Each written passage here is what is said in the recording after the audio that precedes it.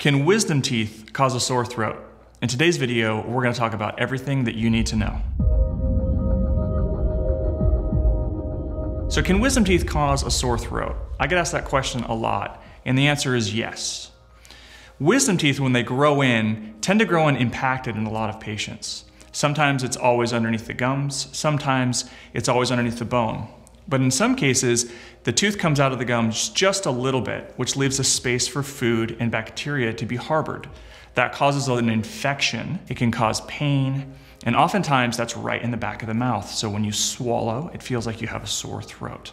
So again, can wisdom teeth cause a sore throat? Absolutely. And if you're experiencing those symptoms, you're gonna to want to call your dentist as soon as possible to see what treatment you need to get comfortable and to have it treated. If you found this video helpful or interesting and like to know more, go to our website at thrivefamilydental.com.